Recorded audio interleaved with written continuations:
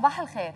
الاعتذار ثقافة مهمة وواحدة من أهم آداب السلوك الاجتماعي وهو أيضا دليل قوة ووجود شجاعة الاعتراف بالخطأ. على عكس الشائع يمكن عند البعض اللي بيشوفوا الاعتذار هو دليل على ضعف الشخصية وأنه هذا الشخص يمكن ضعيف كثير لحتى هيك عم يعتذر. صباح الخير ورد. صباح الخير يا رنا وصباح المشاعر النبيلة والراقية والطيبة لكل حدا عم يحضرنا عبر شاشة سما الفضائية داخل وخارج سوريا يعني مثل ما قالت رنا الاعتذار حسب الخبراء بيعود بفوائد على الشخص يلي بيتبع هالسلوك بالوقت المناسب طبعا مو إنه. يكون معتذر دائما. أيوه بأي وقت لأنه ما بيتصدق اعتذاره بعدين وهذا الموضوع بيجعله قادر على خلق توازن بين احتياجاته واحتياجات الآخرين وتصفية الأجواء بالمحن الصعبة عبر التواصل الصريح والصادق طبعا هذا الموضوع آه، ورد هو آه، نسبي أكيد وبتختلف حوله الآراء وله وجه آخر وهو قبول الاعتذار أو رفضه. رح نحكي أكثر تماماً. أكيد ضمن الحلقة عن هالموضوع. وبهاشتاج الحلقة أكيد بالإضافة لفقرات وتقارير متنوعة بتهم الكل.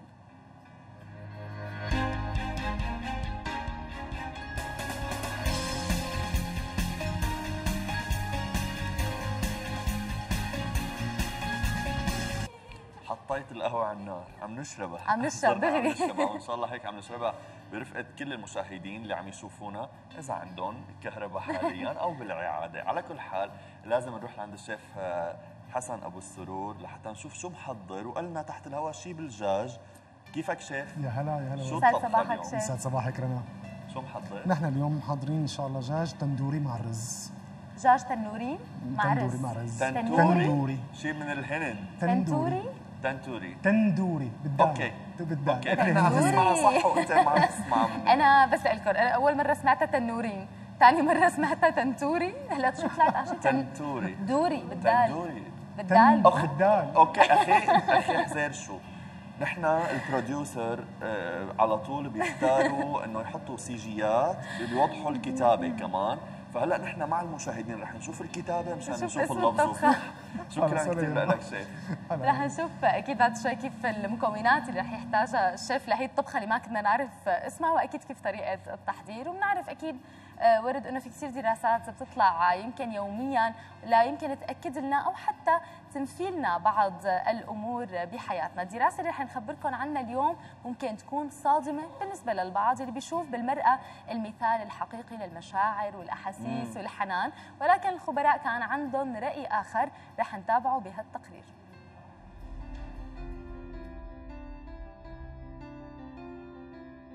رغم الاعتقاد السائد بأنه المرء فبالكثير من الحالات منلاقي زوجات سعيدات بغياب أزواجهم بل قد تنتهز الزوجة فرصة غياب الزوج لتبحث عن الأهل والصديقات وقضاء وقت أكثر معهم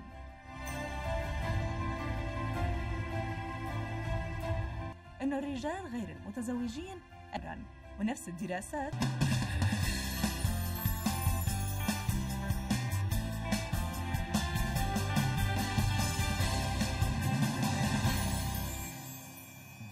يعني دائما ورد ال handmade يمكن في له سحر خاص وحتى لمسة خاصة وخصوصي لما بيجتمع يمكن مع اقتراحات مميزة لإعادة التدوير بتقدم لنا خيارات لقطع حلوة وبتكلفة قليلة وبتكون متاحة للكل اليوم رح نتعرف كيف فينا نعمل أو نضيف يمكن بعض اللمسات البسيطة على المستلزمات المدرسية لأطفالنا بما إنه المدارس على الابواب وبما إنه كمان أكيد يمكن أغراض المدارس كلها عم نشوفها كثير غالية صح. فممكن ممكن عندنا أغراض قديمة نرجع نجددها أو ممكن يكون في عندنا أغراض بالبيت نعمل منها آه، أغراض ممكن يستفيدوا منها أولادنا بالمدرسة. صارت معنا ضيفتنا هي الزيبق خبيرة بالأعمال اليدوية ورح يترافق. ورد أكيد معها. لحتى يورجونا كيف رح تكون طريقة الشغل. نعود إلى عالم الأطفال والمدارس والطفولة لأنه الأحد إن شاء الله أول يوم رح ينزلوا على المدرسة وإن شاء الله السلامة ترافقهم. خلونا نشوف. تفضل.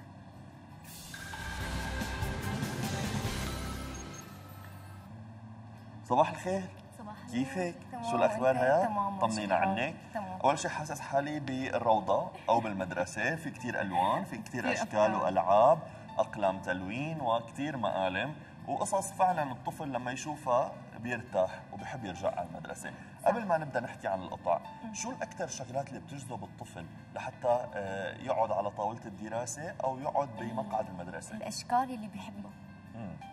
ونزين الإقلام مثلا ونزين الدفاتر بالشيء اللي بيحبه بأفكاره اللي بتحبه إنه الأفكار اللي بيحبها هذا الشيء كثير بيجذبه وخصوصي إنه في شيء مميز إنه هذا الي حلو. آه هذا الشيء كثير بيجذبه تمام. طب أنت بتتعاملي أكثر من الصبيان. مع الأطفال كثير أكثر شيء عم يجذبهم من الأشكال شو هو؟ يعني مثلا هذا القلم هو ما فيه شيء عادي بس إنه. فيه هذا الشكل مثلا. آه هي مثلا إنه فيها العقدة. تمام إنه البنات شي بناتي إيه البنات بيلفت. نظرهم هيك شيء هلأ مثلا الصبيان بدهم شيء على أزرق مثلا أو أخضر هيك مم.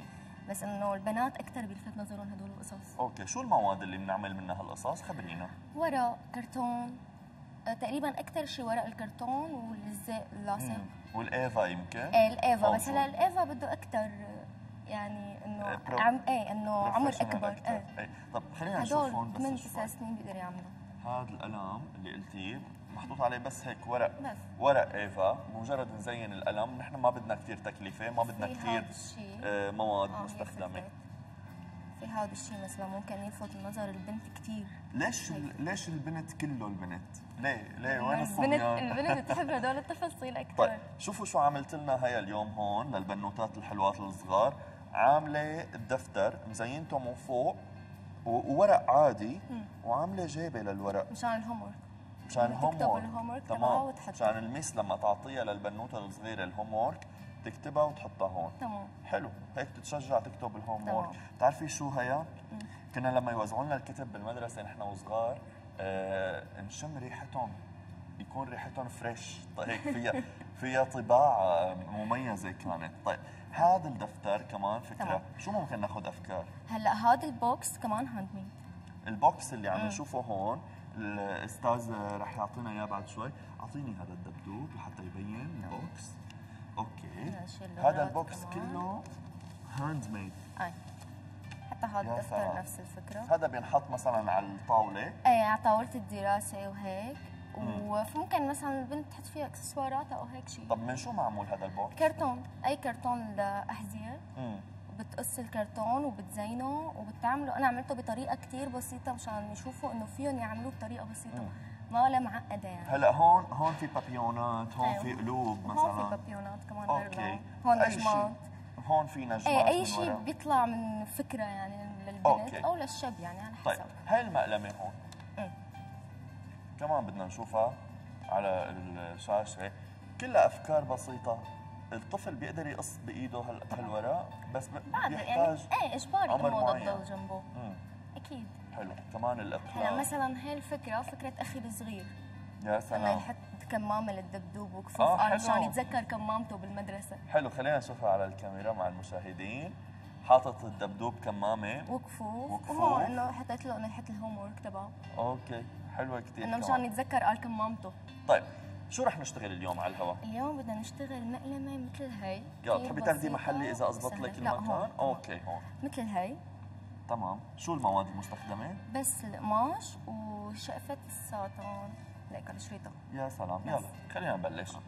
طبعا نحن عم نعطي أفكار لكل ستات البيوت اللي عم يتابعونا أو كل حتى الأهالي لحتى يشجعوا أطفالهم للعودة إلى المدارس. عم نسمع كثير ناس بدهم يرجعوا وناس ما بدهم يرجعوا. لا خلونا الحياة بلكي هيك بتمشي بسلامة وصحة وعافية. إن شاء الله للجميع للكادر التدريسي وأيضا للأطفال اللي رح ينزلوا على المدارس. وإن شاء الله يا رب ما بيصيبهم غير السلامة والصحة. ومثل ما قالت رنا من شوي يعني غلاء الأسعار عم يخلينا نلجأ لهالأمور. تماماً. لأنه ما بتتخيلوا قديش القرطاسية غالية اليوم.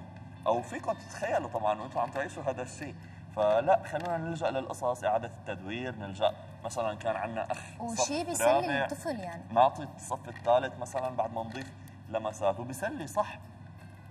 يعني بيعبي وقتهم للأطفال بطريقة إنه بيلتهوا يعني. امم بنلهيهم. تماما. بتعرفي شو هيا؟ يعني بظن لازم مدرسين آه، المادة التربية الفنية أو الأشغال اليدوية بالمدارس يحولوا جلسات التربية الفنية لقصص فعلا يستخدمها الطفل هلا بعدين. أنا مدرستي كانت هيك. حلو. فهذا الشيء اللي حببني فيها للفكرة أكثر إنه أشتغل عليها. هلا نحن عم نلص عم نلزق إيه هلا هي فينا. نعملها فينا نعملها إنه خياطة بس بدها وقت. أوكي. وبدها حدا له مراء يعني. أما هيك أسهل للأم ولطفلها. وحلاوتها إنه تبقى عشوائية. انه نحن إيه، لأنه- الأطراف والجوانب آه، هي ما كثير دققت بالقص. لا هي بالذات لازم تكون أطرافها مثل كانه مشقوقه مشان تعطي فكرتها. مم. مو تكون مثلا تشوف هاي أو هاي هيك قديش مزبطين فيهم وهيك. بس بس هي حلاوتها من فوق تمام. تضل هيك آه، عشوائية مو مقصوصة على الستاندر. لا هي هيك موديلها يعني. مليانة أقلام. آه حاطة فيهم أقلام لأن- بي اتش يمكن. لأنه ف... إيه تماما. فرعي بيساعدني إني أحط هدول الاقلام okay. طيب كمان شو شو ممكن نضيف؟ هلا بدنا نضيف الشريطة. كان نحط الزرقاء أحلى وتطلع الزرقاء أحلى. بس كمان بقيت بناتية. هلا الأزرق مو بناتي. إيه بس إنه كموديل واحد ساتان و, و يعني وشي بنت أكيد حريري. ما حتطلع أفكار لصبيان. قد ما كان. يعني بعدين بنلاقي البنت لها مراء أكثر مم. يعني الصبي مستحيل يركض هيك شو؟ كيف. بنعملها؟ مثلا أنا بعطيكي من الافكار. آه، بنحط عليها سيارة بنحط عليها آه، قصص تانية. بحبوها الصبيان الصغار. كرة قدم لاعبهم المفضل مثلا إيه. بيقصوا صورته وبيحطوها. هلا هي فكرة كثير حلوة. بدنا نطبقها بعدين. هي شو هيا؟ آه هي مثل شيء تحطها ناحية المقلمة مشان يجذب انتباهها على المقعد يعني في بنات كثير بيحبوا يحطوا شيء على الم- على المقعد غير مقلمتهم امم آه. حلو بس إنه فكرتها غريبة بتوحي بخيمة من بلاد الهنود الحمر. القدماء يعني هو لازم يكون في فكرة في غريبة إبداع. okay. تمام. يعني ولا أبسط من هيك. صح. ممكن. انت وعم تشتغلي هيا أنا بدي بدي أحاول أستثمر الوقت ونستعرض باقي القطع اللي أي، ما okay. استعرضناهم هي شو كمان؟ هلأ هي مقلمة معمولة من قنينة البقين. يا سلام. بتنفتح بهون هون. ساعدك أنا؟ إيه يا ريت تفتحها. شكلها معلق السيليكون. معلق السحاب إيه هونيك المثال مثلا عليها. تمام. لا فتحناها. okay. okay. نفتحها بهدوء وتؤدى يا ريت. هي المقلمة آه، قنينة مي صغيرة. من بعد ما نعقمها ونغسلها طبعا. بنحط عليها آه، شوية سحاب ومنلزق فعلا حلوة. ورق هي على فكرة من إيه إيه هذا الكيس. إيه هذا كيس الورق تبع هذا. ظرف هذا الظرف اللي كنا ناخذه كمان. آه. نحط فيه أوراق ثبوتية. كمان هي المقلمه نفس الطريقة. أمم. مم. وين وصلنا؟ خلصت. خلصت. يا هي. سلام. هلا بنحط فيه يعني مثلا إذا بدنا نحط فيها شيء أو هيك بهي الطريقة بتطلع. okay. وهي موديلها حلو إنه تكون عشوائية من على الأطراف ما حلو تكون standard صح. ما حلو. تكون مقصوصة صح 100% ومحبوكة. أه. هاي الجينز آه. كثير عنا قصص جينز قديمة. تمام فبتنعمل بهي بدل ما نرميها كمان مقلمات. طيب كيف بتنعمل شناتي بتنعمل مقالم بنزين الدفتر الأقلام بنعمل بتنغسل. كمان صح؟ طبعا بتنغسل وبترجع تستخدم مو. انه بس إذا آه، تلوثت بشي شغلة لازم ست البيت ترميها. خلينا نروح لهالقطعة كمان. كيف معمولة؟ بدون ما تنفع. بدون ما أنزع. طيب، إذا أنا بكل عناية ممكن أنزع. الطفل ممكن ينزعها هلا الطفل كونه هو اللي عمله فما حينزع. ما حينزعها بس أنا شغل- بنزعها إيه. طيب. هلا هي شغل أخي الصغير فكرته. يا سلام. شو اسمه أخوكي؟ عمر. عمر عمر صباح الخير يا عمر. عم يتابعنا يسلموا إيديك أه. على التصميم الحلو. إيه وأنا زينتها بهدول الصوفات عندي لحشة قديمة عملت فيها هدول الصوفات وكمان عملت فيها المقلمة تبع قنية البقن يا سلام يا عمر. عمر؟ بس هو تبع إنه يحط اقلام بكل أماكن وهو عم يلون هو بحب التلوين. عمر رح نرجع لك ال- الاغراض سالمين غانمين ما أذيناهم اليوم. هلا هي فكرتها كثير حلوة. هاتي لنشوف شو فكرتها ما فيها شيء غير ورق. مم. بس إنه لما بيحطوها على مقعد الدراسة أو على مقعد المدرسة مم. آه كثير يعني بتحبذ الولد إنه هو يرسم الألوان عالم الألوان تماماً. يعني أصفر أحمر أزرق أخضر. آه، الطفل لما بيشوف. هالألوان كلها هذا عبقرينه. قاعد عم انه لازم يقعد يدرس الولد. ويدرس ارفعي لهم الدفتر شوي. إيه في دفتر ماسكه وعم يقرأ ويدرس. كان عندنا مدرس تربية فنية. بتذكره كان اسمه أحمد. الله يوجه له الخير. كان كثير يعلمنا هيك قصص. نحن كنا حتى آه، إعدادي وثانوي يعني وشباب بس يقلنا إنه شغل ال hand made بيعطيكم صبر لنفسيتكم. صح. وبيعطيكم لاحقا آه، تخطيط وتصميم. يعني مثلا آه، يحول لنا الرياضيات لمجسمات. يقلنا اليوم بدنا نعمل هرم. أبعاده بالقاعدة القطر تبع دائرته كذا أو مخروط. أو أسطوانة طول بال- بالعرض بقصص كلها حسبوا لي آه، قديش نصف قطر قاعدتها هيك. فبيحول الرياضيات. لشغلات ملموسة وهذا. الشيء جدا مفيد وجدا بيثبت بذهن الطالب. طالب. طيب كمان شو في معنا شغلات نستعرضها هلا في هذا الدفتر كمان غير الدفتر اللي عملناه. مم. نفس الفكرة له إيه جيبة. إيه تمام له جيبة. وال box تقريبا عرضنا كل الأفكار الأقلام عرضناهم مثلا هي هي كثير للبنات اللي لهم مرق. انه يرسموا ويزخرفوا كذا اي تمام بيقعدوا بيرسموا عليها يعني تمام. أخذنا أفكار عديدة. منك اليوم هيا. نتمنى اي شفناها بظن الجنس نتمنى طبعا مثل ما قلنا عام دراسي مكلل بالنجاح لكل أطفالنا ولكل الكادر التدريسي الله يحميهم جميعا. وهيك يبقوا محافظين على أدواتهم الشخصية وما يعيروا ولا حدا وما ما ينزعوا. ما ينزعوا أهم شيء. شكرا هيا يسعد صباحي. سعد صباحا رح نرجع لعند رنا لنكمل باقي شكرا فقراتنا كثير ورد وشكرا هي على الأفكار الحلوين. رح نضل شوي هيك بأجواء المدارس وأجواء يمكن القرطاسيه رح نروح نحن والمشاهدين لنشوف شو هي قصة اختراع القلم بعندكم علم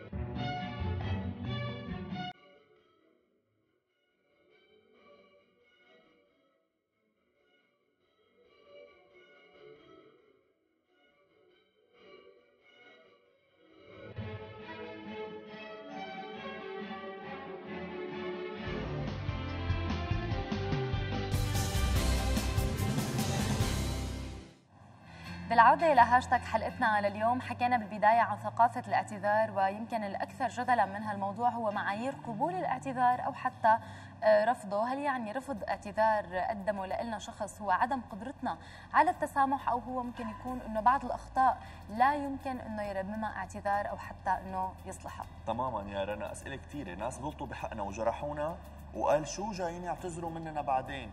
سبق السيف والعزل مثل ما بيقولوا. يعني أسئلة كثيره بتدور حول هالموضوع ونحن سألناكم واحد من هالأسئلة ضمن هالبوست اللي بلشتوا تشوفوه معنا على الشاشة. سؤالنا بيقول إمتى بتقول للشخص اللي عم يعتذر منك اعتذارك مرفوض.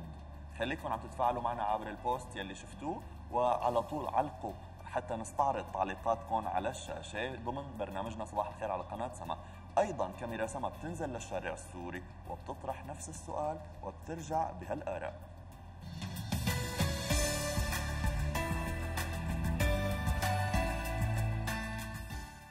شو الموقف اللي انت بتقول اعتذارك مرفوض للي عم يعتذر؟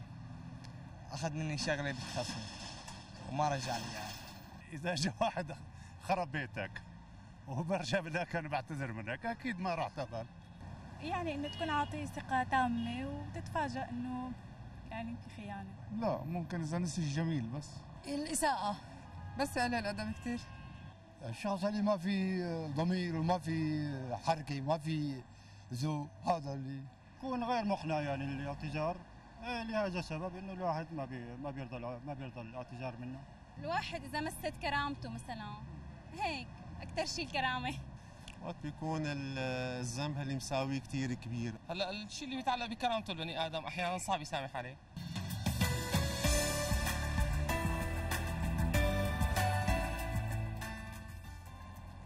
يعني ممكن ورد عن جد أيام يوصل الواحد لمرحلة بعد خلينا نسميه هيك تراكم للأخطاء، تراكم للمواقف، تراكم للخلافات اللي ممكن تصير، يوصل لمرحلة هو يبطل يقبل اعتذار هذا الشخص أو ممكن. يبطل يسامحه على الأقل. إيه ممكن ممكن. حسب كمان طبيعة الاعتذار التي تقدم وحسب كيف أنا عم أقدم هالاعتذار مدى صدق الاعتذار. وعن شو عم بعتذر. يعني أنا ما فيني أعتذر لشخص إلا والله أنا بعتذر إنه فشلت لك عملك.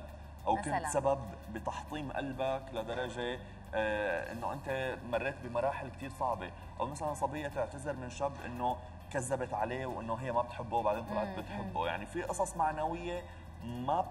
لا لا, تغتفر، لا تغتفر. okay أنا بسامح بس آه لا يعود ما قبله كما ما بعده. شو رأيك؟ تمام. يعني هي مثل مبدا يمكن ورد بتقولوا لك الشيء اللي بينكسر ما ما بيتصلح. بيتصلح صح؟ يعني هو بيتلزق. فينا نرجع نلزقه بس بضل يمكن العلام أو مشوه. اللي هي بي- بضل فيه أكيد علام واضح عليه إنه هذا الشيء هو انأذى أو انكسر.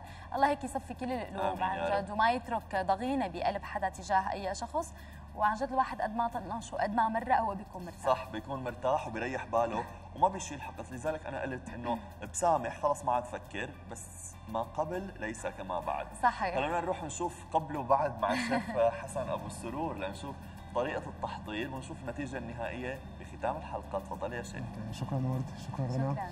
مثل ما قلنا اليوم يسعد صباحكم عن جديد أول شيء مثل ما قلنا اليوم عنا دجاج تندوري مع الرز.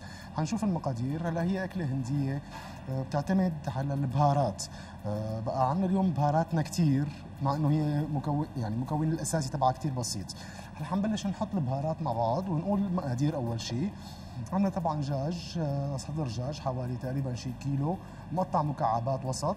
عندنا كاستين لبن رائب. عندنا ملح. عندنا كزبرة يابسه ناعمة مفرومة ناعم عندنا زيت نباتي آه عندنا قرفه عندنا قرفه ناعمة عندنا ورق غار عندنا زنجبيل عندنا بابريكا عندنا كمون آه أنا خلطتهم الاثنين سوا حب وناعم مع بعض عندنا شو- شومر أو شمرة مثل ما بيقولوا لها آه عندنا فلفل حب عندنا كركم عندنا حب خردل عندنا قرفة ناعمة وعندنا ليمون حامض وعندنا خل شوية خل بدنا نستخدم. عندنا توم وعندنا مفروم آه، مدقوق ناعم عندنا زنجبيل مفروم عندنا نص معلقه رب البندورة وعندنا لتلوين الرز ممكن نستخدم صفار الزعفران. هلا في من هدول البهارات آه، نحن حنستخدم شيء للرز وشيء آه، الأغلبية كلها رح نستخدمه لل- للدجاج والباقي في كم من هدول البهارات حنستخدمه للرز. حنبهر الرز سوا. هلا حنبلش أول شيء بطريقة تتبيله الدجاج بدنا نحط الدجاج تقريبا حوالي شيء ساعتين. حنبلش أول شيء بكاستين لبن.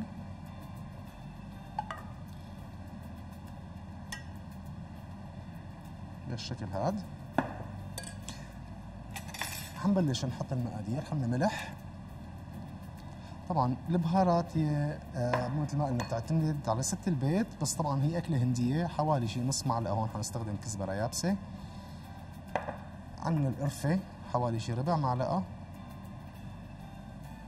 عندنا ورق الغار حنستخدم نصهم بالدجاج ونصهم بالرز.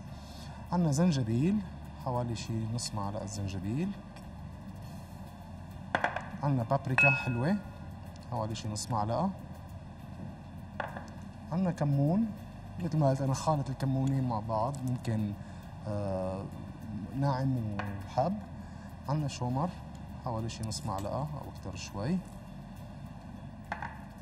عندنا فلفل حب نحن الدجاج حنساويه بالفرن. ما راح نساويه بالطنجرة. وبعدين نسوي الرز. بعدين نخلطه. هلا عندنا كركم.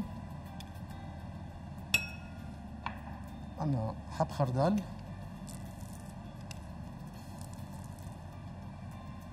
وعندنا قرنفل ناعم مطحون ناعم. حنحط تقريبا ثلاث أرباع كمية ال- آه، الثوم.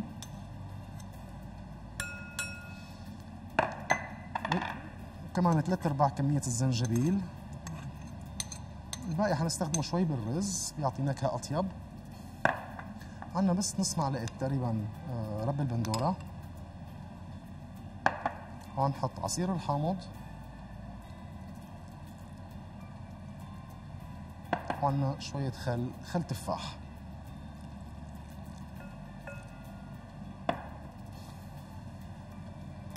هلا بنحاول نخلطهم كلياتهم مع بعض. هيطلع لونه كثير حلو على روز على زهر تقريبا. بيطلع كثير حلو. نتركهم بالتتبيلة حوالي شي ساعتين تقريبا.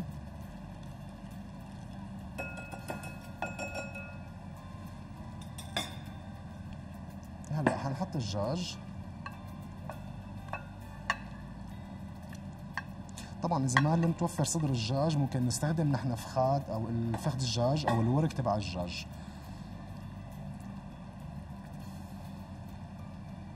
هلأ بنحاول نخلطهم كلياتهم مع بعض. مثل ما قلنا نحن حنحاول تقريبا هو لازم يضلوا ساعتين تقريبا مشان يمتصوا كل النكهات مع بعض.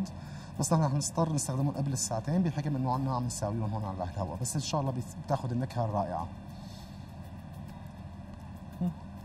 أوكي. طبعا نحن هلأ بدنا نحطهم بجات الفرن وبنحطهم بالفرن تقريبا بدهم حوالي شي نص ساعة آه، بيكونوا استووا.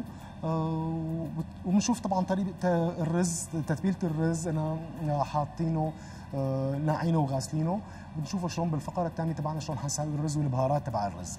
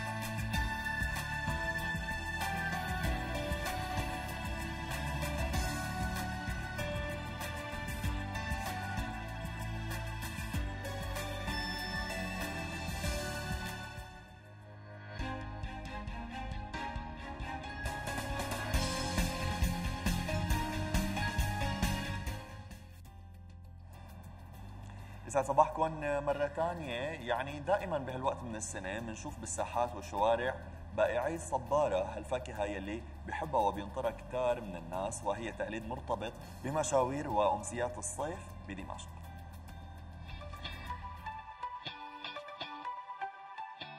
هي مو بس أكلة هي طقس اعتدنا نشوفه كل سنة وكتار مننا بيستنوها بهالفترة تحديداً. التين الهندي الصبار أو التين الشوكي. تعدد التسميات لفاكهة شهية بحبوها كتار طعمها حلو خفيفة وأكيد غنية بالفوائد الغذائية.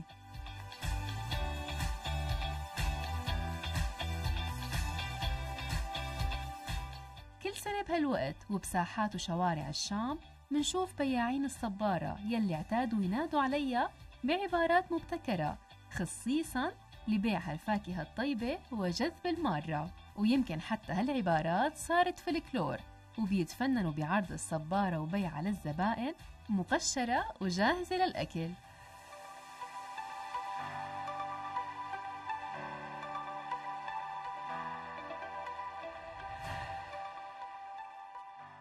كان عمري 11 سنة. كنت أنزل مع والدي ساعده تعلمت منه إنه كل موسم له له حق. صبارة فول ذرة حسب الموسم يعني وحسب المكان. هلا في زباين بتحب الخضرة لأنها قاسية وهي حلوة. في عالم بتقلك الحمراء أحلى بس هي الصبارة بالفعل الخضراء أطيب من الحمراء طبعا في بترمم جدار المعدة هي أهم شيء. وللقرحة للسكر كثير مفيدة. برا البلد أكثر شيء إنه بيسألوني شو هاد؟ بقول لهم صبارة. إنه شو هاد الصبار؟ بنقول لهم تين شوكي بعدين بيعرفوا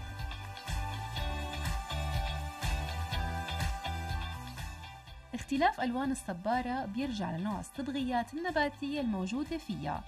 فمادة الليكوبين هي المسؤولة عن اللونين الأحمر والفوشيا ومادة البيتا كاروتين مسؤولة عن اللونين الأصفر والأخضر.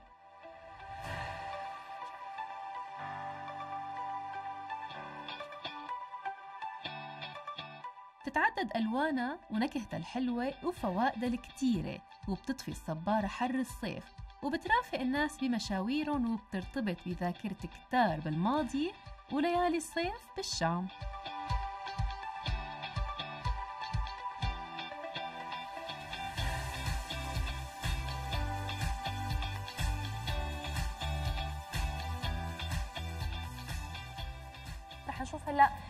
تكون طريقة التحضير وبشو رح يبلش الشيف؟ تفضل. شكرا شكرا ولد. يسعد صباحكم عن جديد. مثل ما قلنا اليوم نحن آه، عم نساوي دجاج تندوري مع الرز. حنبلش نحن أول شيء. هلأ حطينا الدجاج بالفرن. آه، بنحط شوية زيت بالطنجرة مشان نساوي الرز. هلأ بنشوف البهارات كلياتها مع بعض. هلأ حنبلش أول شيء نحط الزنجبيل.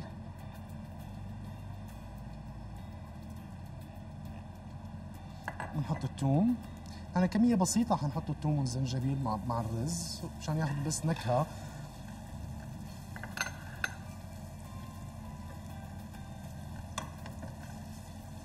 هلا ببلش تطلع ريحة الثوم والزنجبيل مع الزيت. تمام؟ حنبلش نحط باقي المكونات. حنحط شوية كزبرة يابسة. نحط شوية ربع معلقة هيل تقريبا. عندنا ورق الغار حنحطه كله شي أربع ورقات. عندنا شي ربع معلقة زنجبيل. وبالنسبة للكمون حوالي شي ربع معلقة. وعندنا الشومر حوالي شي ربع معلقة. فلفل الحب. عندنا ربع معلقة كركم وعندنا خردل حب الخردل. وعندنا شي ربع معلقة تقريبا قرنفل يعني بنحاول نحركهم كلياتهم مع بعض. ياخذ الزيت كلياته نكهة البهارات. ونحن بالأخير حنحط هلأ بدنا نحط الرز. وحنحط له بالأخير صفار الزعفران نحن مشان يلون الرز. لأنه ما بدنا لون لون البهارات الغامق يطغى على على الرز.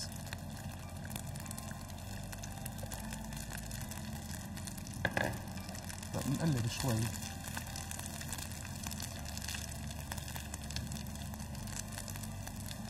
نقلب الرز مع البهارات كلياتها. شوية زيت كمان. طبعا الرز كميته على هوا سكر البيت نحن هون عم نستخدم تقريبا حوالي شي كاستين ونص رز. رز كبسة. رز طويل. وطبعا الملح نحن بنحطه على رغبة سكر البيت مثل ما دائما مثل ما بنقول.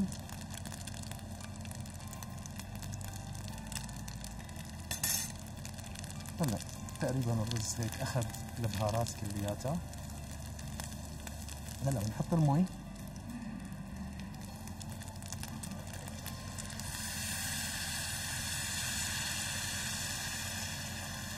كمية المي طبعا نحن مقدار إنه عقلة إصبع فوق الرز بكفي ل... ليستوي الرز.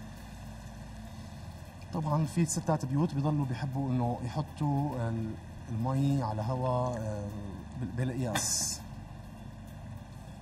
ممكن يحطوا بالكاسة على هواء كم كاسة بيحطوا كاسة وربع هو تقريبا عيار عيار الرز الطويل كاسة وربع تقريبا لكل آه، كل كاسة مي كل كاسة رز بدها كاسة وربع مي. وبنحط معه. رأسا آه، الصفار الزعفران يعطيه لون. هلأ هيك. حطينا صار الرز على عاطي على لون أصفر بهالحالة هي شايفين شلون؟ كيف؟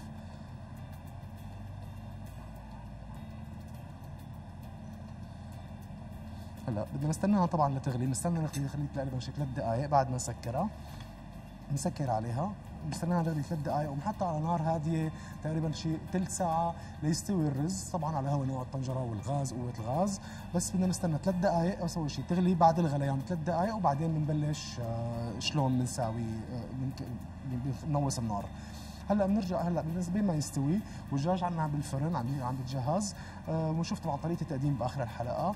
وبنرجع لعند ورد ورنا وبنكمل باقي الفقرات لما تستوي الطبخة. شكرا. شيخ سلام ايديك يا شيخ أحيانا نتمنى إنه ننسى كثير من الأحداث المؤلمة يلي مرقت علينا بيوم من الأيام ولكن بنلاقي حالنا عاجزين عن هذا الموضوع. ولو تناسينا هي الأحداث لفترة معينة بترجع بتظهر قدامنا شئنا أم أبينا.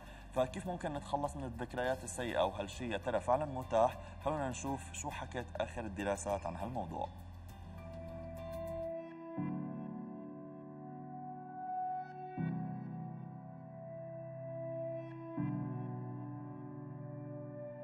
يعاني البعض من تجارب مؤلمة أو مخيفة مر بها خلال مرحلة ما في حياته كالتعرض لحادثة طريق مروعة أو لاعتداء جنسي أو وقوع انفجار أو كارثة طبيعية في محيط مكان كان فيه وغيرها من المواقف التي تؤثر سلبا على سلامة أعصابنا ومع مرور الوقت. يتعافى البعض من آثارها ولكن البعض الآخر تصاحبه تلك الذكريات بتفاصيلها ودرجة الخوف منها وتؤثر عليه نفسيا لشهور أو حتى لسنوات عديدة. لذلك اهتمت دراسات وأبحاث علمية بالبحث في إمكانية محو الذكريات السيئة من أجل التخفيف عن هؤلاء المرضى. فريق بحثي من جامعة توياما باليابان نجح في التعرف على الآلية التي يسترجع بها المخ ذكريات معينة دون الأخرى. وإمكانية الاستفادة من ذلك في محو الذكريات المؤلمة فقط دون غيرها. الدراسة كشفت عن أن الذكريات تأتي متلاحقة وتتكون بصورة متشابكة في المخ وتوصل البحث الأخير إلى نتيجتين جديدتين. الأولى تقول عن إمكانية المحو الدائم والكامل للذكريات السيئة عن طريق تكسير نوع معين من البروتينات في المشبك العصبي لدى فئران التجارب حيث تلتقي الخلايا العصبية. والثانية معرفة المكان والكيفية التي يخزن بها المخ تلك الذكريات. وتبين أن محو الذاكرة دام مدة طويلة جدا حيث أن هناك ذاكرة حديثة وأخرى دائمة. الأولى يظل المخ فيها يتذكر موقفا ما خلال أيام من حدوث الحدث والأخرى إذا استمر الإنسان في تذكر موقف حدث له لأكثر من شهر مشيرا إلى أن محو الذاكرة السيئة في الدراسة لم يؤدي إلى استدراك ذاكرة التلقائي. الذي يحدث في حال محو الذاكرة بشكل غير كامل.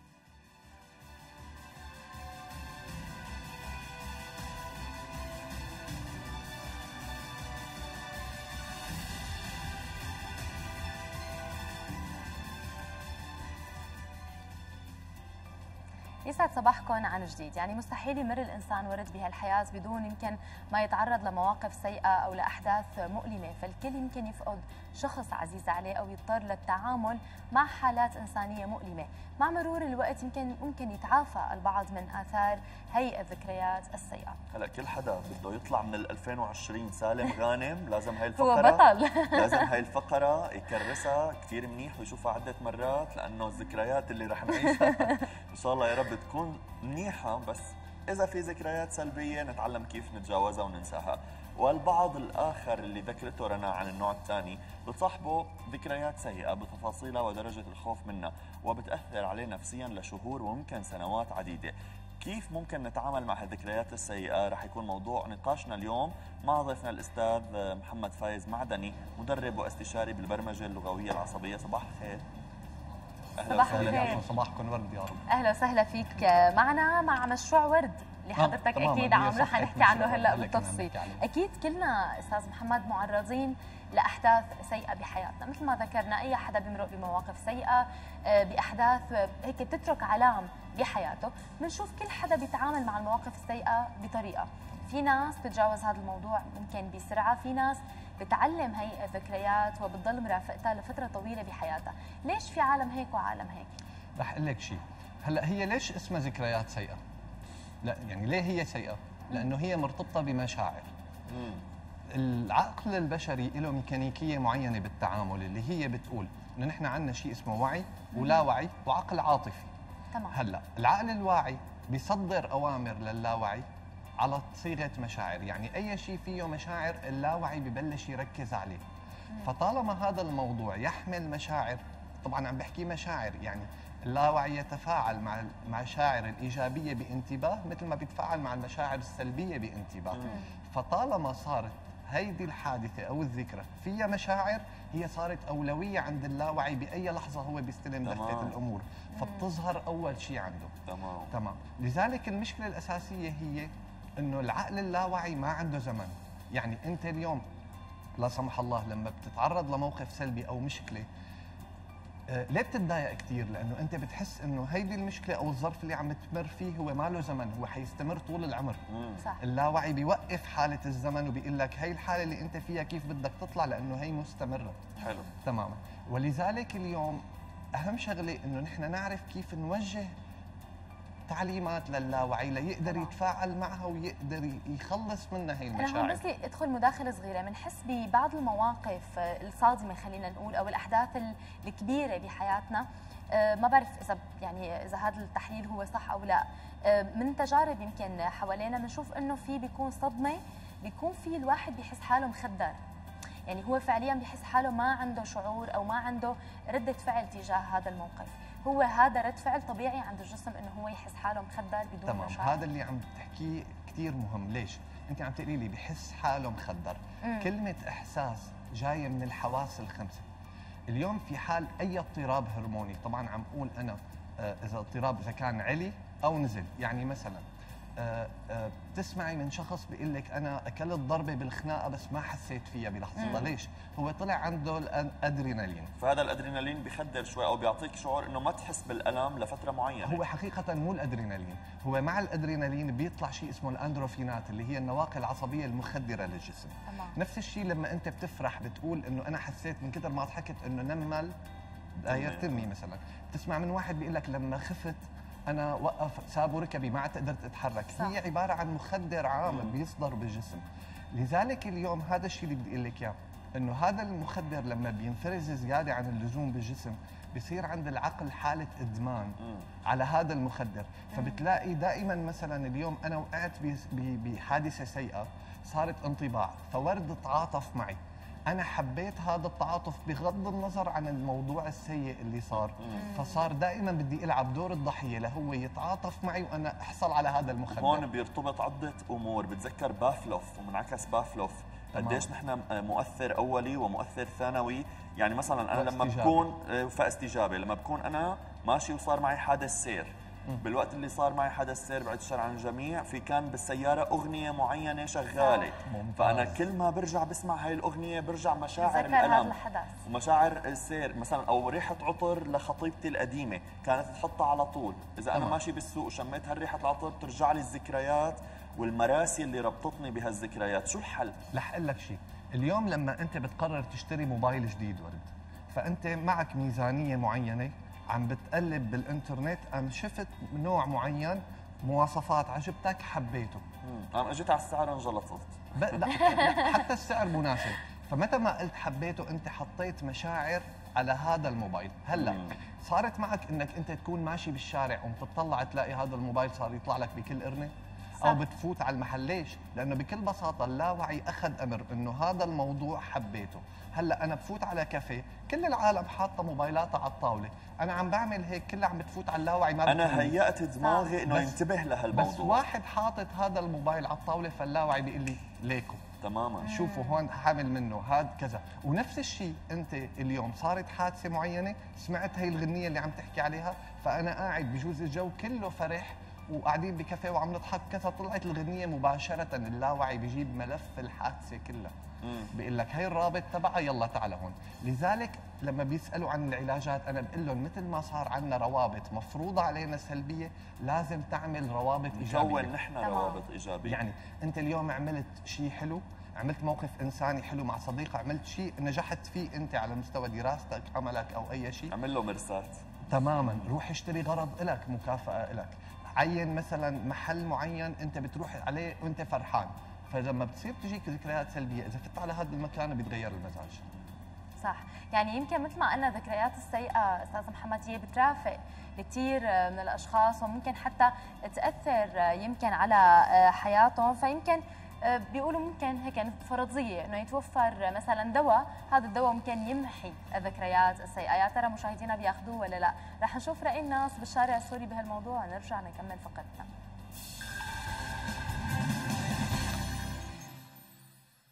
إذا اخترعوا دواء بينسيك الذكريات السيئة بتستخدمه صارت الذكريات السيئة جزء من حياتنا.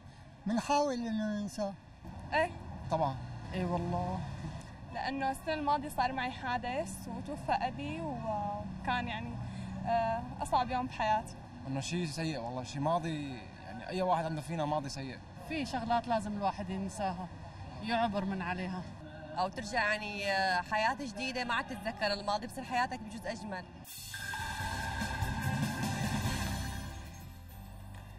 يعني شو رأيك رنا؟ إذا في حبة تاخديها بتنسي كل شيء ألم صار معك. ما بعرف قديش هذا الشيء صحي ولا لا. يعني هو أكيد ما في حدا بيتمنى يتذكر أحداث سيئة أو يتذكر شيء مؤلم صار يمكن معه بحياته. بيتمنى أكيد إنه ينساه وكنا عم نحكي تحت الهواء إنه فعلا النسيان نعمة بكثير من من الأحيان إنه عن جد الواحد وهو أصلا باللاوعي يعني بالنظريات صح. النفسية أثبتوا إنه آه، يمكن آه، من الاثبات اللاوعي هو النسيان وأيضا أمور أخرى من ضمنها. فقديش مهم عن جد النسيان بهذا الخصوص؟ صعب الواحد يمكن إنه يمحي كل الذكريات السيئه هلا في قاعدة عقلية نحن بنقولها بتقول إنكار الشيء تثبيته. يعني آه اليوم لما بتكون بعلاقة مثلا وبتسمع من شخص إنه عم بيقول لك إنه بدي أقول لك شغلة ورد بس لا تزعل مني يعني بلش حضر حالك رح تزعل. حتى تزعل. تمام؟ هي مبلشة أو بيقول لك حدا عندك عادة سيئة أنت مثلا.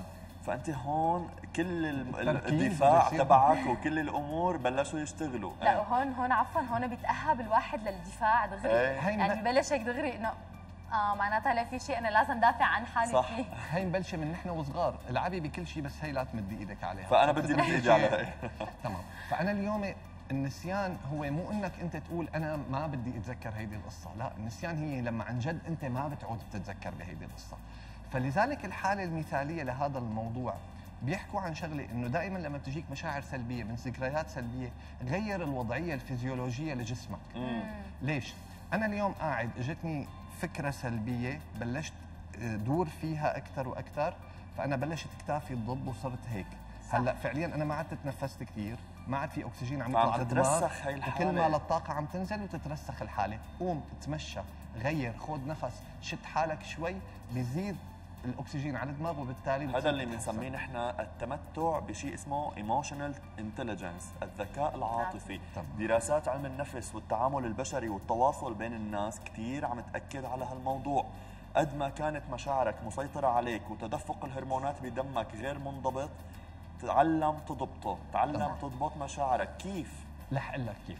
نحن بنروح هلأ على شيء اسمه Gestalt therapy اللي هو العلاج النفسي الكلي تفكيك الحالة الذهنية. بالجاشتالت في له نظرية بتقول إنه أنت اليوم ليصير عندك اكتئاب لازم يكون في شغلتين مع بعض. هن الإحباط والقلق. ليش اخترنا هدول الاثنين؟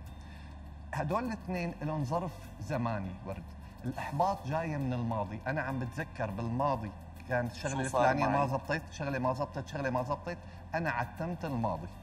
القلق منين جاي؟ من المستقبل الحاضر أو المستقبل. أنا خايف من كذا خايف من كذا خايف من كذا فأنا عتمت المستقبل. لما بتوقف بممر وراك عتمة وقدامك عتمة بتكوع وبصير عندك اكتئاب. ما عاد امشي تمام.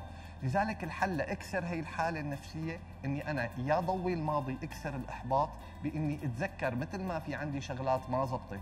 إنه في عندي شغلات زبطت. أو إذا ما قدرت بسبب الحالة النفسية إني ضوي شمعة بآخر الممر. خلص ركز على المستقبل. حط هدف. تماما. الماضي ما عاد فينا نغيره. بألمه بفرحه راح لذلك أنا اليوم علاج الإحباط والله القلق هي إنك تقتل كلمة واحدة بس الفراغ. مم. الفراغ هو السبب بالتفكير واللاوعي بيميل بالتفكير للسلبي لأنه أغلب مدخلاته مفروضه عليه فبيعتبرها سلبيه لذلك متى ما نهيت ما في شخص عنده هدف وعنده ملل. ما في شخص أنا هي بقولها رنا مثلا بتعتقدي إنه إذا حدا مشغول على طول ليل نهار بالدراسة بالشغل بالعمل بالتركيز بالبيت بالقصص ممكن يمل؟ لا لأنه بيكون خلص شاغل حاله كل الوقت. يمكن آه، ملهي حاله مثل ما قال ورد عم يشتغل بالبيت عم يشتغل برات البيت عم يدرس عم يعبي كل وقته. معناتها نحن كمان بحاجة للذكريات. يعني نحن مو صح آه إنه نحن نقول ما بدنا نتذكر ما بدنا نفكر ما بدنا هيك. قديش نحن فعلا بحاجة للذكريات؟ الايجابيه أكثر أكيد وبحاجة لبعض أيضا الذكريات السلبية أيام لتكون حافز لنا لقدام لحتى يمكن ما نوقع بنفس الأخطاء ما نوقع بنفس المشاكل. هي شغلة كثير بحب ركز عليها.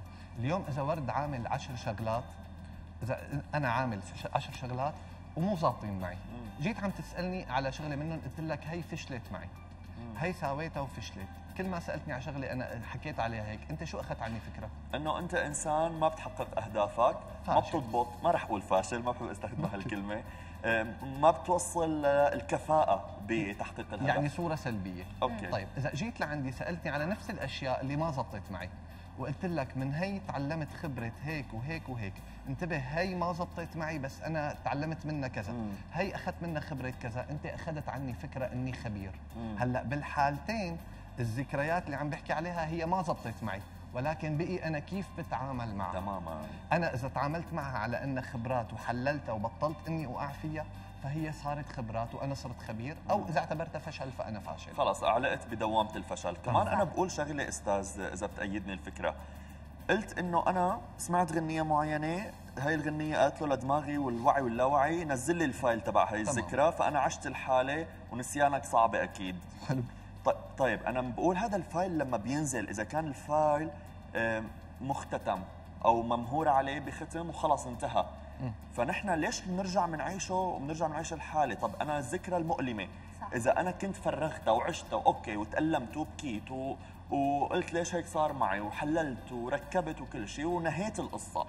لما بيرجع بينزل هذا ال file ما بيأثر فيني. تماما لأنه تحليلك هو وعي. هو وعي ومنطق وتحليل. إنما اللاوعي لا يفهم هذه يعني. قصدي تجنب الذكريات المؤلمة تمام هو ليس حل لا لا عيش الذكرى المؤلمة وإنه أنا حل الذكرى المؤلمة وأتأقلم معه بظن هو حل أفيد. إيه، تماما. بس هو الفكرة كيف بدها تصير؟ إنك أنت تحاول تصغر كمية المشاعر لما بتستحضر هذا الملف. تمام. لأنه اللاوعي هو لا يفهم. يعني أنت مزبوط أنت وعيا نهيت المشكلة وخلصتها. اللاوعي هو حيجيبها بكامل ملفها بدون أي شيء. هي هذا غرضه. مم. فهو بالتالي إذا جاب معها مشاعر هون رح ترجع تعيشها من أول وجديد كأنه واقع هلأ. نحن عندنا أحاسيس اللي هي بتستقبل هذا الشيء والمشاعر هي الترجمه لهذا الشيء. أنا حسيت بالألم. أو أول ما شفت حدا مثلا حسيته غليظ لكن بعدين حبيته. إحساسي هي استقبال. حبيته مشاعر هو مشاعر. رياكشن تمام. فأنا اليوم ما بدي أجيب هذا الملف مع المشاعر هذا اللي بدي أتمرن عليه. هذا لازم نعمله. طيب سريعا بختام فقرتنا أستاذ محمد. آه، هيك نصيحة ذهبية للأشخاص اللي عم يتابعونا للتعامل مع الذكريات السيئة والأحداث الصعبة اللي الكل أكيد عم يمرقوا فيها وعم يتذكروها. النصيحة الأساسية في حال أنك أنت وقعت بهيدي الدوامة أو حسيت حالك بهيدي الحالة أول شغلة لا تتردد بأنك تستشير استشاري نفسي. هي رقم واحد. اثنين على صعيدك الشخصي أنت بتقدر تغير حالتك الفيزيولوجية لتطلع من هي الحالة. وثلاثة والأهم اعمل ميزان. يعني مثل ما هالأشياء السلبية لها روابط لما بتعمل شيء حلو أو بتكون بلحظة حلوة عزز من روابط هذا الشيء ليتكرروا بدماغك دائما. مثل ما اللاوعي عم بيجيب كل شيء فيه مشاعر سلبية لقدام هو بيجيب لك كل شيء فيه مشاعر إيجابية لقدام تمام وشكرا لكم أهلا وسهلا فيك. يعني القديرة ميادة الحناوي لما قالت نعمة النسيان وغنتها كثير من الناس بلشوا يحسوا شو يعني. نعمة النسيان وإن شاء الله تكون هالنعمة بس للذكريات السلبية ونتجاوزها ونضل نرسخ ذكرياتنا الإيجابية ونلاقيها قدامنا بالمستقبل بشكل أحلى. أهلا وسهلا فيك. يسعد لي صباحكم يا رب وشكرا لكم. شرفنا. أكيد حتى نضل كمان محتفظين بذكرياتنا الحلوة. لازم ننشط ذاكرتنا وهي احدى. فوائد الرياضه دقائق من التمارين الصباحية وبنكمل باقي فقراتنا.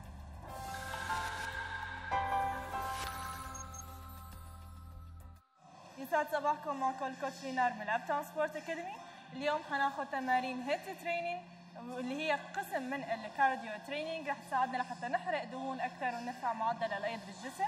رح نبلش بأول تمرين. أنتم حتحموا خمس دقائق بسيطة وأنا رح أبدأ دغري بأول تمرين. رح يكون في عنا shuffle لازم ارفع على أصابع رجلي. رح أعمل 1 2 shuffle بعدين down squat again رح يدلكم إياها بشكل بطيء. 1 2 بالنص squat لتحت. نرجع بنضمها لجوا. هلأ حنعمل اسرع شوي. 1 2 down again 1 2 بالنص down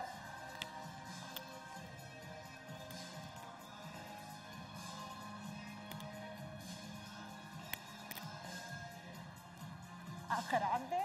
وحريح التمارين حتساعدني لحتى أرفع معدل ضربات القلب لفوق. فحنحس بضيق بالنفس شوي. ممكن نحس بضربات قلبي صارت كثير عالية. ما عندي أي مشكلة. رح أروح على التمرين. يلي بعده حيكون في عنا jacks و squat ضيق بالنص. حنعمل 1 jacks؟ حننزل squat ضيق بالنص. again؟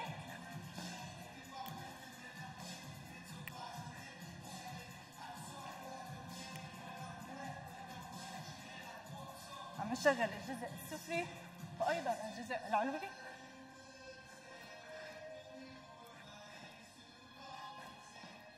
آخر وحدة وحريح هناخذ نفس. نرجع بنكرر التمرين مرة ثانية رح روح أنا على التمرين يلي بعده. حارفع رجلي لفوق وإيدي أيضا لفوق حيكون معاها جامبس again. One.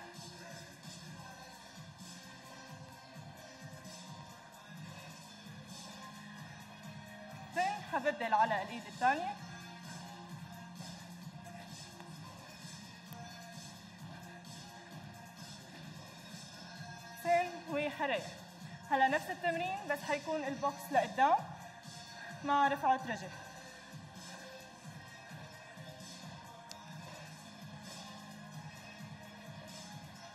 nine and ten. حنبدل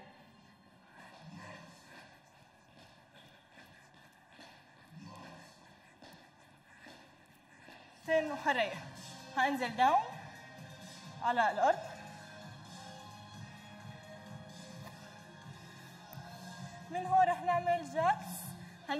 رجلينا ونرجع نضمهم ظهري مستقيم وبنسكر again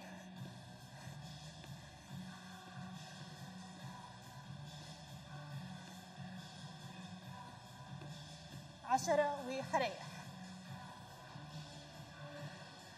آخر تمرين حناخده هو mountain climbers بس أيضا على الأرض. حيكون رجل in رجل out. من هون. And out.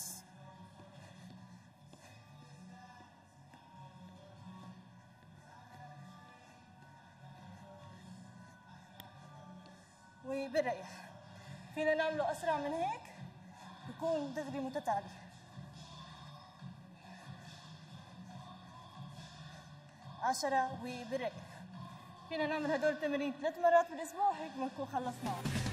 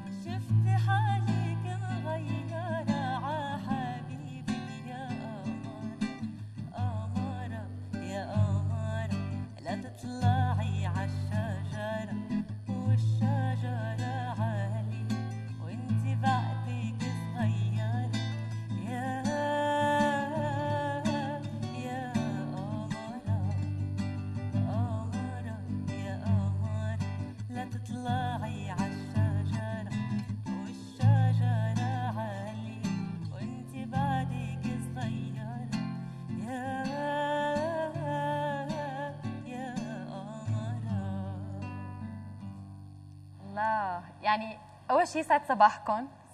ويسلم هالصوت ويسلم هالعزف الحلو. يعني هي هي الغنية أصلا يعني هيك بدون الواحد يمكن ما يعمل لها شيء بتكون بتجنن وكثير بحسها الواحد قريبه للقلب. أهلا وسهلا فيكم معنا. أكيد جورج مالك عزف الجيتار وأيضا صباح قدورة. أهلا وسهلا فيكم معنا شرفتونا. أهلا وسهلا فيكم ويسعد صباحكم مرة ثانية رح نبدأ من عندك آه، صباح اليوم. نحن بعصر ال social media.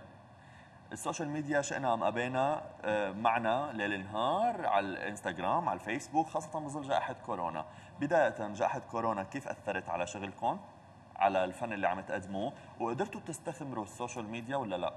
هي فعليا ما أثرت ابدا بس وقفت الشغل. إيه، ما أثرت. وقفت الشغل على الأخير. بس آه، ال social media كثير ساعدت. يعني أنا كنت مثلا أطلع live أحيانا من غرفتي.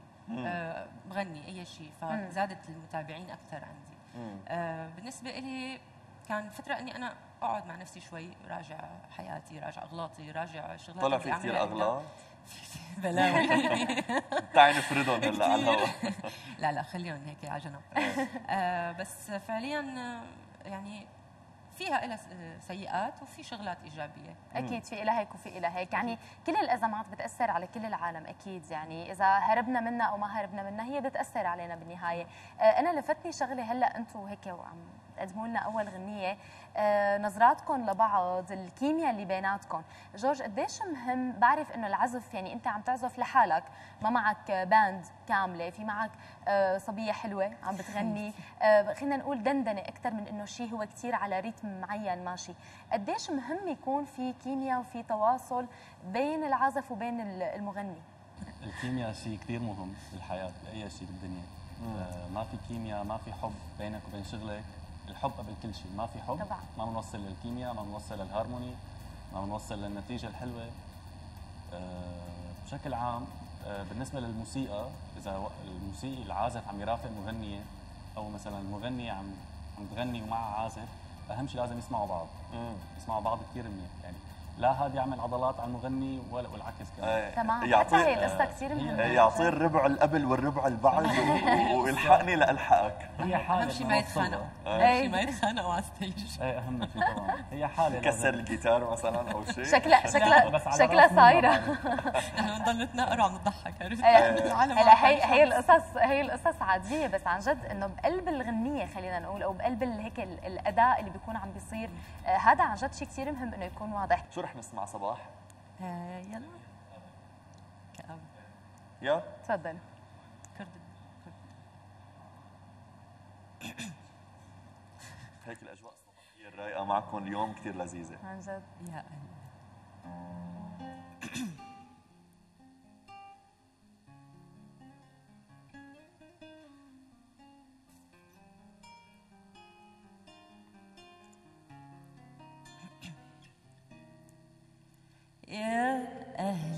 أهل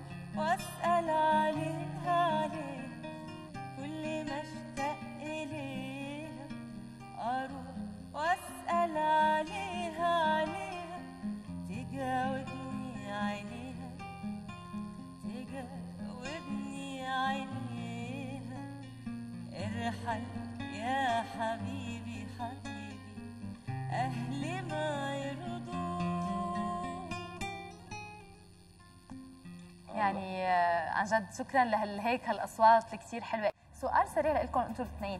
آه، أكيد بنعرف ال social media قديش مهمة وحكينا قديش هي ساعدت حتى بالفترات يمكن اللي مرقنا فيها. قديش في لها شيء سلبي خلينا نقول شهرت عالم أو طلعت عالم ما كثير بيستاهلوا. هن يعني مو بهذا الحجم أو مو بهي المقدرات اللي هي عم عم يورجوها للعالم يعني. إيه هي كثير والله. السلبية أقوى. من النتائج الإيجابية كثير آه للأسف. مثل ما قلتي كثير طلعت عالم. sorry بتسوى ما بتسوى. آه صفى الغناء أو العزف شغلة الما لو شغلة حتى بأي شيء YouTuber. اي شيء إيه، جاي على بالي أعمل cover لغنيه معينة. بصورها وبنزلها. آه، بس لأنه أنا بعرف ألعب لعبة اليوتيوب أو ألعب لعبة النشر على ال social حتى ما بيعرفوا يلعبوا هي اللعبة. صار انه يلا حطينا كاميرا سجلنا عزفنا تمام. هي هيك صارت تصير. طيب ختاما آه، آه، بدنا نسمع منكم شيء محضرينه كمان الغنية الثالثة شو حتكون؟ يلا مفاجأة مفاجأة مفاجأة؟ أوكي شو هي طيب؟ يلا بلشي مفاجأة لإلنا بس منها جورج مفاجأة.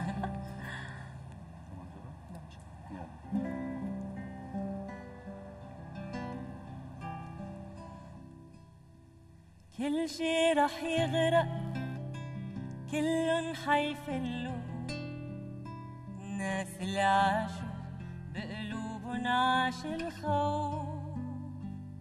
لما كل شي بيغرق كلن بفلوا ما رح بضل إلا اللي شافوا الضي لما بيجي الطوفان لما بتيجي الحقيقة لما بيطلع نور الشمس فوق بيوتنا الغريقة رح يحكوا عنده سفينة كبيرة حامل كل الدنيا اتنين اتنين فتنجى كل الطير بشوفك بكرة. عسفينة نور.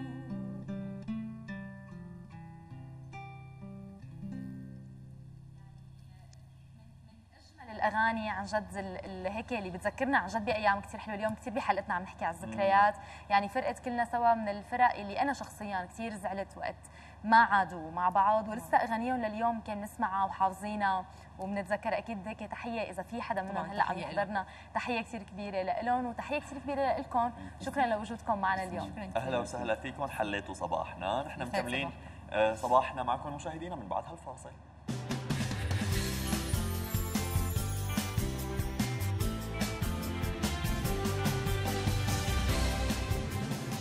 لسه مكملين. بفقراتنا وحظوظنا.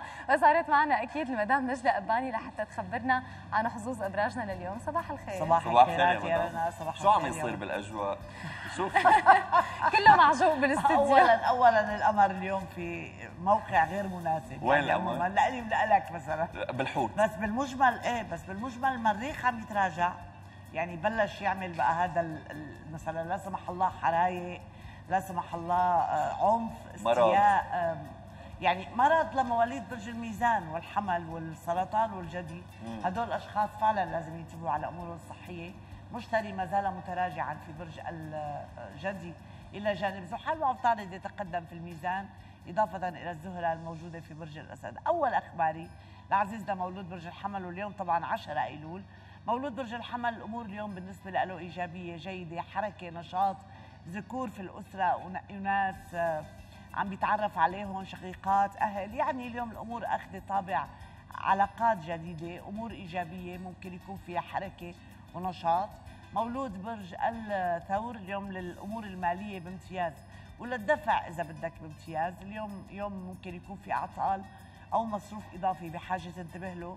مولود برج الجوزاء اليوم الأمور بالنسبة له العلاقه بالطاقة بالحماس بالفئة بكير والنومه متاخر يعني ومثل كأنه عنده نوع من أنواع النشاط اللي بحاجة يعمل فيه آه، إنجاز فعليا. مولود برج السرطان مكسل ضايق خلقه. ما إنه كثير بشوفه بأريح حالاته. ما بعرف إذا الأخبار حزينة اليوم أو هو فاقد للطاقة أو عنده قصة صحية شوي قلقته أو بهي الأيام أمام خيارات أعمل هيك ولا أعمل هيك. يعني الأمور أخذة هذا الطابع. مولود برج الأسد اليوم الأمور أخذة طابع إيجابيات على الصعيد الاجتماعي. صحة. صحة مدام. صحة يا مدام. هلا الشباب أكيد بيجيبوا لنا مي. اليوم عن جد عم نحكي قديش إنه يمكن عن جد في شغلات. مو سلبية خلينا نقول. بس اليوم هيك في في عجقة ما عم نعرف ليش. أنا كثير مبسوط بهالعجقه ليه؟ لما بتحسي الناس يعني hyper و active ومن يمين ليسار وحيوية ونشاط. منيح شغلة منيحة. إيه والصبح والصبح شغال. بس حلوة حلوة.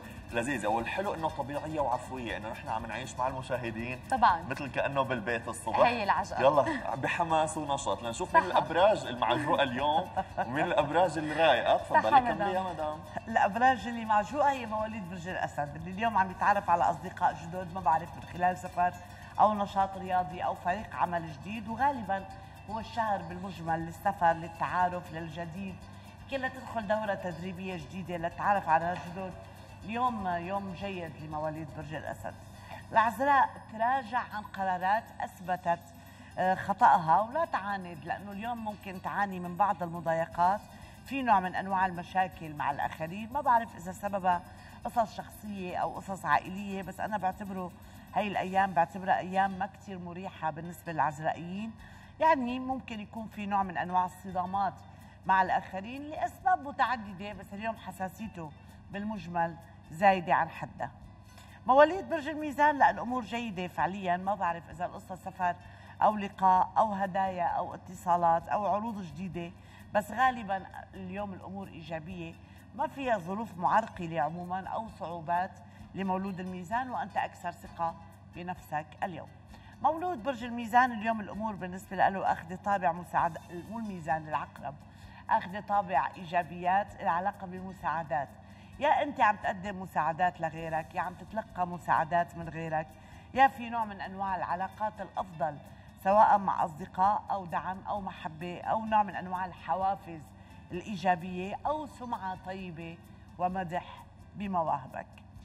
مولود برج القوس الحقيقة يوم للتأجيل ثم للتأجيل ثم للتأجيل.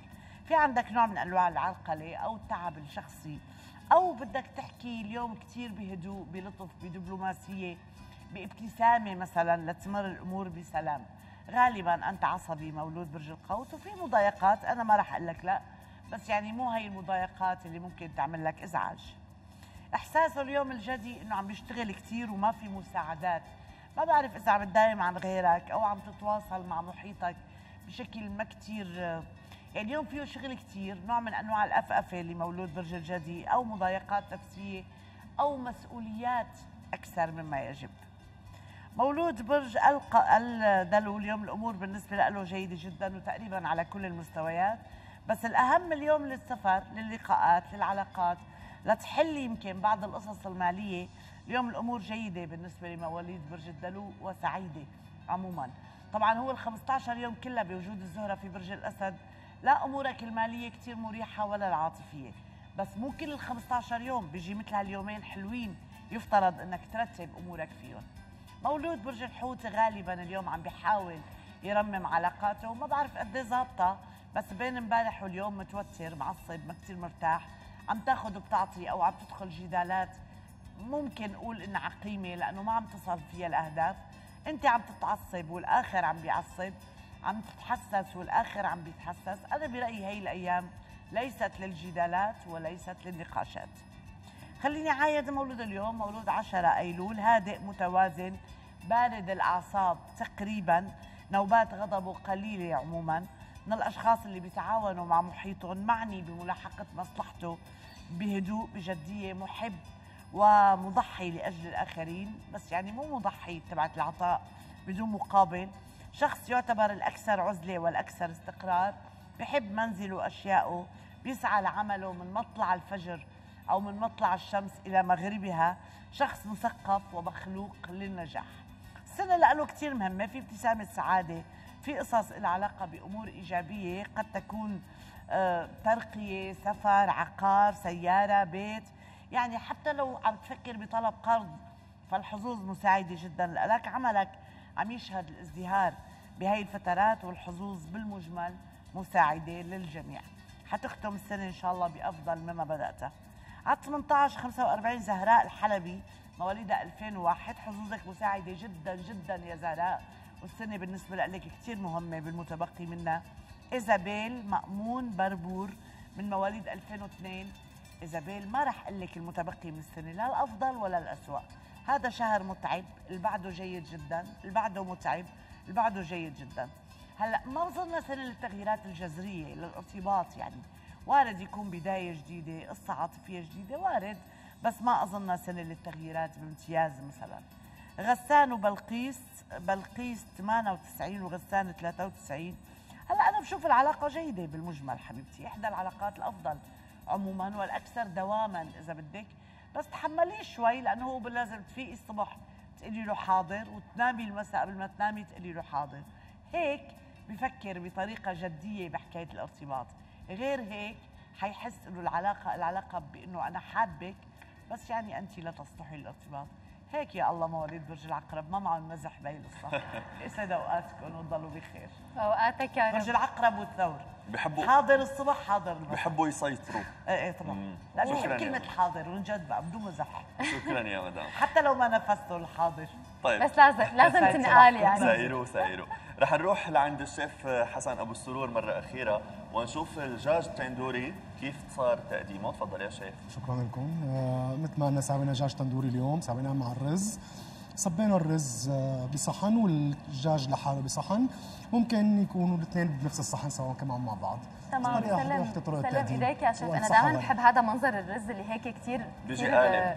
قالب عن جد كثير مرتب. سلم ايديك يا شيف شكرا راسي كثير والهنا. لك أكيد رح نرجع يوم السبت مع الشيف حسن نشوف أكلة جديدة وطبخة جديدة ووصفات جديدة وفقرات جديدة مثل العادة. نتمنى لكم عطلة تكون كثير حلوة وبنلقاكم السبت إن شاء الله يا رب. وبيكون الطقس هيك خف الشوب علينا. شوي. ما بعرف قال عملوا له ابديت للمرتفع الحراري. لسه ممتد لفترة. إن شاء الله لا. إن شاء الله إن شاء الله هيك فجأة مثل المطرة اللي نزلت امبارح بالشام يكون أيامنا كلها غيث وكلها هيك آه، عطاء وخير يا رب, يا رب من الأكون السبت.